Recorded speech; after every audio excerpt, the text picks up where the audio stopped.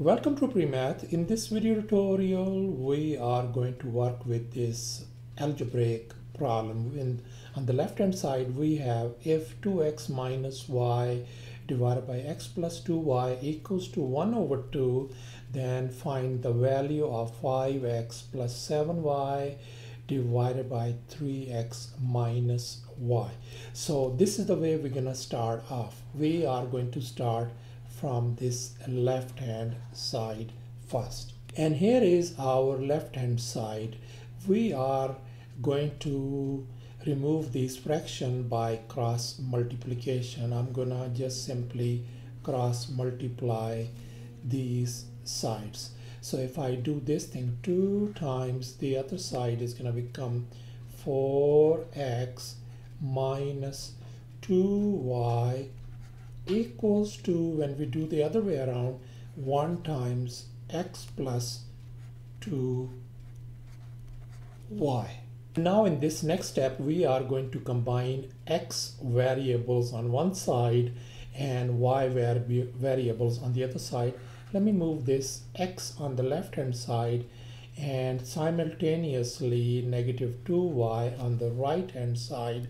So that is going to become 4x this positive x become negative x when you move it on the left hand side. So we got 2y and then this negative 2y becomes positive 2y so we got on the left hand side 3x equal to 4y so here's the very first thing we are going to do. I am going to divide y on both sides. Once I divide y on both sides, this y and y cancels out. So we got 3x over y equal to simply 4.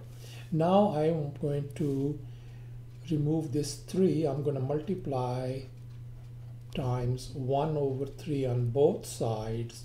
So simply we got this 3 and 3 is gone so we simply got x over y equals to 4 over 3 so this is the proportion we got.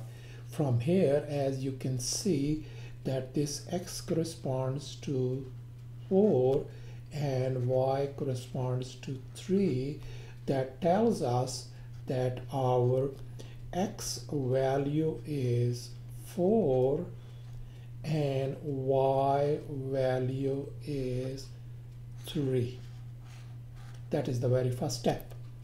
And now in the next step we are going to evaluate this part. Now I have put down this one right up here 5x plus 7y divided by 3x minus y. And we figured out our x and y value. We are just going to replace wherever we see x and y we are going to replace by 4 and 3 let's do that one. So that is simply is going to give us 5 times x is 4 plus 7 times y is 3 divided by 3 times 4 minus y is simply 3 let's simplify that one.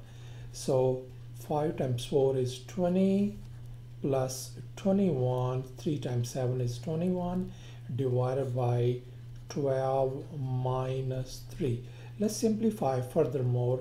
That is going to give us on the top is 41 divided by 9 and that is the value of our given this 5x plus 7y divided by 3x minus y. So thus our value turns out to be 41 divided by 9. That is our answer. And here is your assignment. Can you do this one on your own? You can take your time. Luckily, I have already uploaded this video as well. Please go ahead and check it out and see the correct answer. Thanks for watching and please don't forget to subscribe to my channel for more exciting videos. Bye.